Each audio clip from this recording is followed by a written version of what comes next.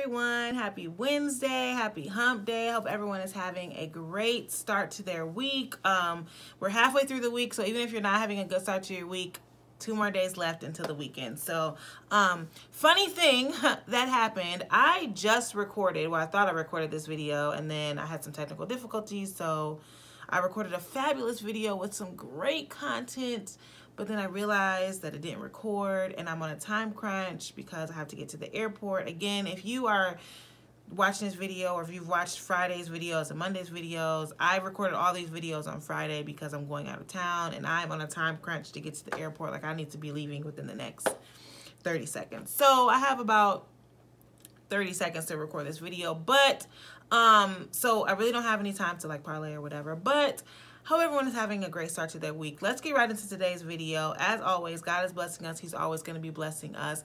Today, we are talking about um, signs and symptoms of an emotionally healthy person and an emotionally unhealthy person or just someone that needs help in that emotional in their emotional health and just for time's sake because i in the first video i spent a lot of time talking about the person that's emotionally intelligent and emotionally aware for time's sake i cannot do that I'll get back to you guys on with that on Friday. But for to me, I've identified two types of people. There are people that are overly emotional um, which those are the people that are like, and it doesn't have to just necessarily be crying because I've gotten into arguments about with people about that. Like, if I call you emotional, I don't mean that you're like crying or you're like super lovey dovey, but it could be displayed as passion. Like, I have a couple people in my life that are very passionate. So when they talk, it may seem like they're being aggressive, but they're not. They're just very passionate about what they're saying. So those are emotional people too.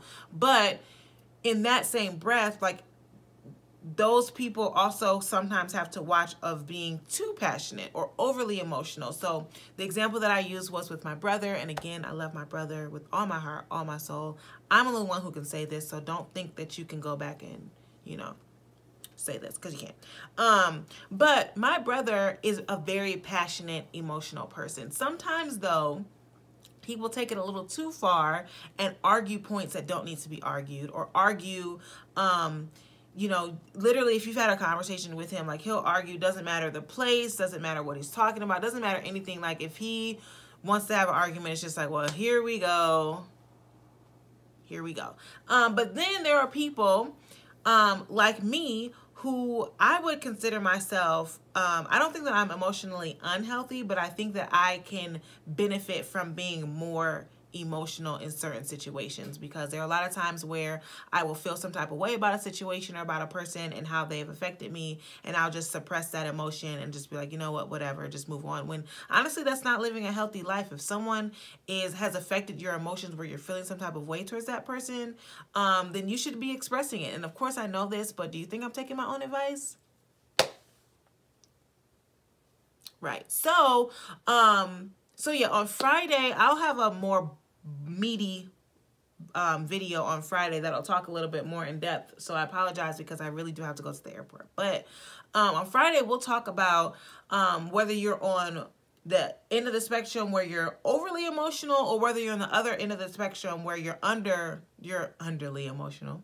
You're not as emotional. Both of those areas or both of those ends are have some signs and symptoms of being emotionally unhealthy or having um, needing some work in their emotional health. So right in the middle is where we should be and that is where emotional intelligence comes into play. So on Friday we'll talk more in depth about emotional intelligence, emotional intelligence and what we can do just to live more emotionally healthy lives and some things that we can um, put into practice now. That way when we come into different situations and we come in contact with different people, we are emotionally aware and emotionally intelligent of not only um, our emotions but how they affect our behaviors, the people around us, the environments around us, and just our lives in general. So hope everyone is having a fabulous Wednesday. Hope you guys have a great third. In, in between like today and Friday, what would be good for you guys to do is really identify where you are on that emotional health spectrum. Like, are you too emotional or are you not emotional enough?